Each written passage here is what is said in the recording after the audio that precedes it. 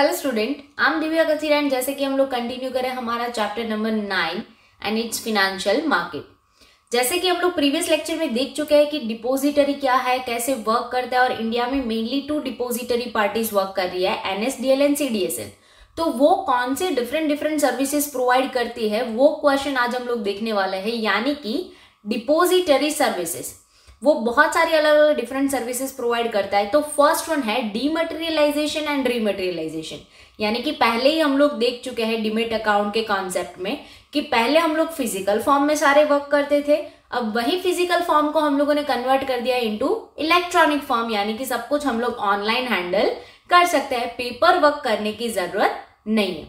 It maintains the physical securities of investors in electronic form through dematerialisation clear यानी कि investor के जितने भी डॉक्यूमेंट है share certificate and all that उनको वो लोग किसमें कन्वर्ट कर रहे हैं? इलेक्ट्रॉनिक फॉर्म में और फिर उसी को वहाँ पे अवेलेबल करेंगे. Clear it preserve the securities in demat account और डिमेट अकाउंट में हमारी जितनी भी सिक्योरिटीज होगी, वो सब वहाँ पे क्या होगी? प्रिजर्व होगी. Clear and depository is a consider as a bank maintaining securities जैसे कि फॉर एग्ज़ाम्पल अगर हमारे पास मनी है तो हम लोग बैंक में रखते हैं। फॉर एग्ज़ाम्पल अगर मनी विड्रॉ करते हैं तो बैंक ऑटोमेटिक हमारे अकाउंट से वो पैसे डेबिट कर देगा। और अगर हम लोग पैसे क्रेडिट करते हैं तो बैंक ऑटोमेटिक वो हमारे अकाउंट में ऐड कर देगा और हमें बैलेंस पता चल जाएगा clear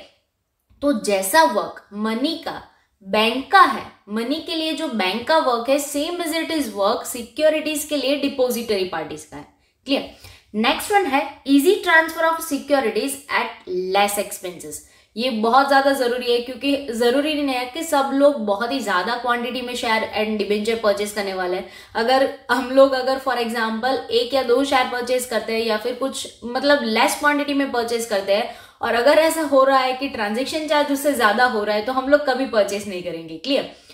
prompt transfer of a securities is possible because of depository depository ने इलेक्ट्रॉनिक फॉर्म में जो कन्वर्ट कर दिया है, उसकी वजह से बहुत ही जल्दी मतलब सारे ट्रांजेक्शन हो रहे हैं। It decrease the paper work यानी कि इलेक्ट्रॉनिक फॉर्म में हम लोगों ने कन्वर्ट कर दिया, सब कुछ ऑनलाइन हो रहा है। बट फिर भी इन्वेस्टर को चूज़ मिल रहे हैं मतलब उसको चॉइस मिल रही है कि भाई चलो, अगर आपको फ़िज़िकल फॉर्म में स्टिल आपको कंटिन्यू करना है, आप कर सकते हो। बट ऐसे बहुत ही रेयर लोग मिलेंगे हम लोगों को clear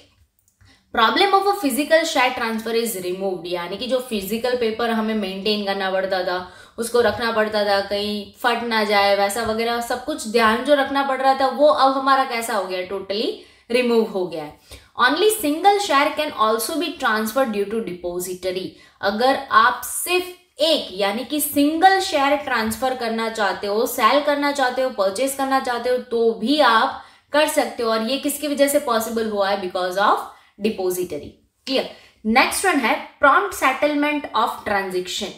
अब ट्रांजेक्शन इजीली हो रहा है, ऐसा ज़रूरी नहीं कि सिर्फ़ इजी ही हो रहा है बट प्रॉम्प्टली हो रहा है। अगर आप सेल कर रहे हो परचेस कर रहे हो तो वो तुरंत ही बहुत ही कम टाइम के अंदर आपके अकाउंट में वो अपडेट आपको मिल जाएगा clear transaction become speedy due to depository बहुत ही स्पीडीली ट्रांजेक्शन हो रहा है बिकॉज़ ऑफ़ ऑनलाइन वर्क हो रहा है। Depository participant transfer security promptly क्योंकि डिपोजिटरी जो पार्टीज़ है, वो बहुत ही जल्दी हमारी सिक्योरिटी अगर हमने सेल कर लिया है, जो भी हमारा शेयर है, वो हमने अगर सेल करा है तो वो तुरंत हमारे यहाँ से माइनस कर देगा, यानी कि डिडक्ट कर देगा। और अगर हमने परचेज किया है तो हमारे अकाउंट में एड हो जाएगा।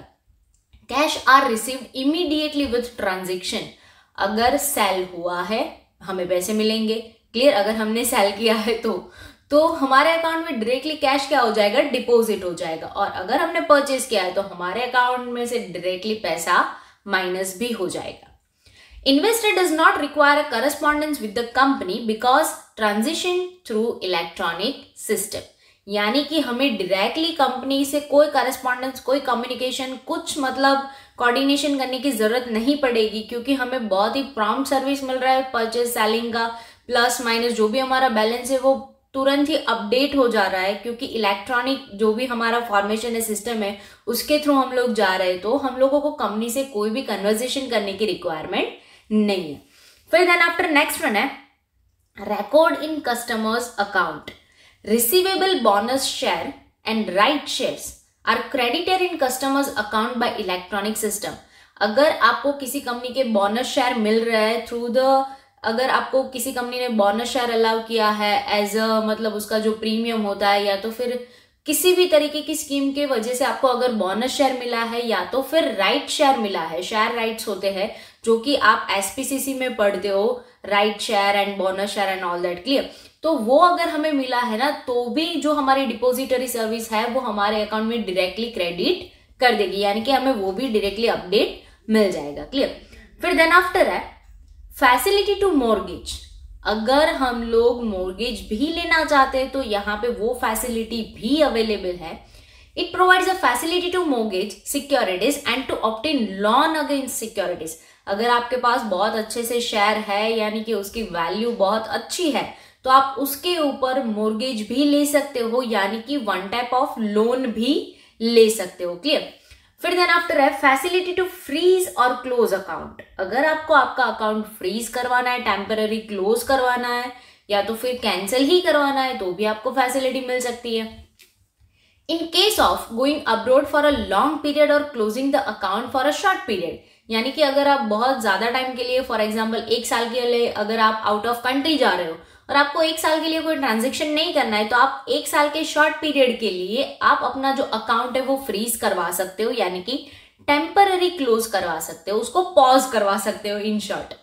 it provides a facility of a freezing the account of that period तो उस टाइम के दौरान हम हमारा जो अकाउंट है उसको पोज यानी कि फ्रीज करवा सकते हैं। और अगर हम लोग ऐसा सोच रहे हैं कि अब से हमें शेयर में इन्वेस्ट नहीं करना है एंड परचेजिंग सेलिंग नहीं करना है और हमें हमारा अकाउंट क्लोज भी करवाना है तो भी हम लोग क्लोज करवा सकते हैं।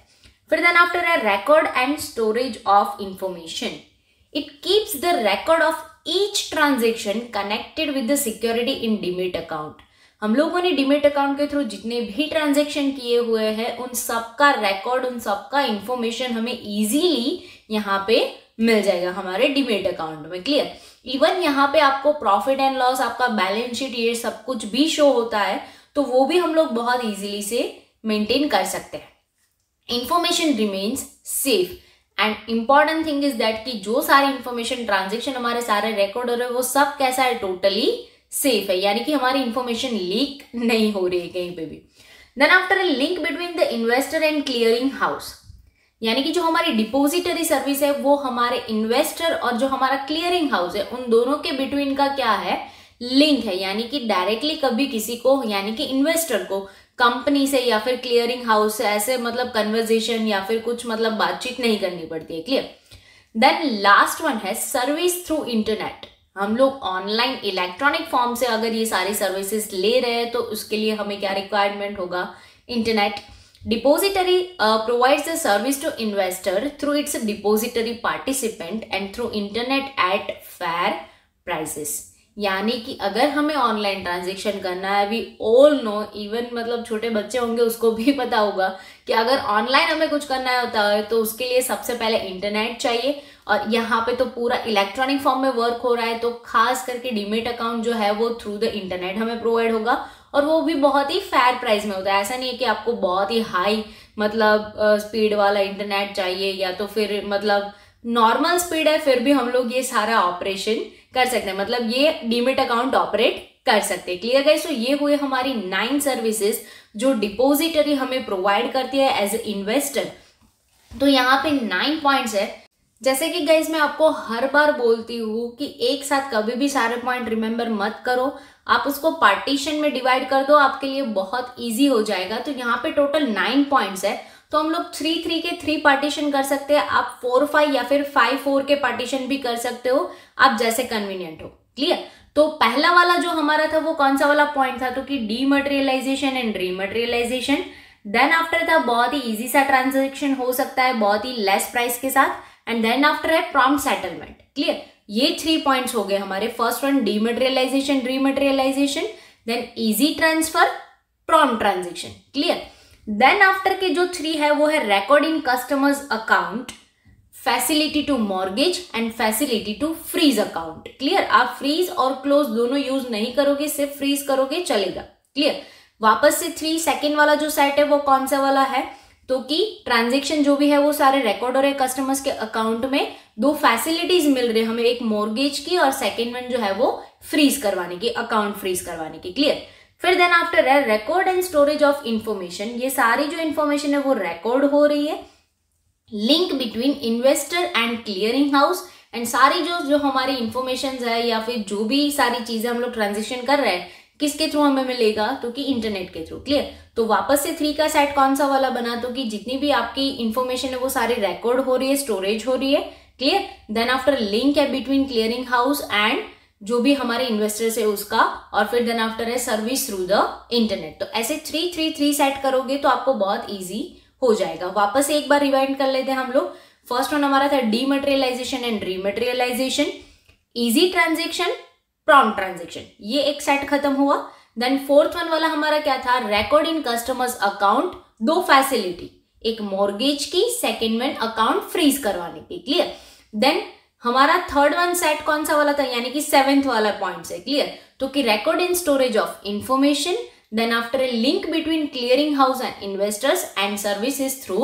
internet clear तो ये हुआ हमारा डिपोजिटरी सर्विसेज़ जो भी हमारा नेक्स्ट क्वेश्चन है, वो हम लोग आगे के लेक्चर में देखेंगे। तब तक के लिए बी हैप्पी बी सेफ़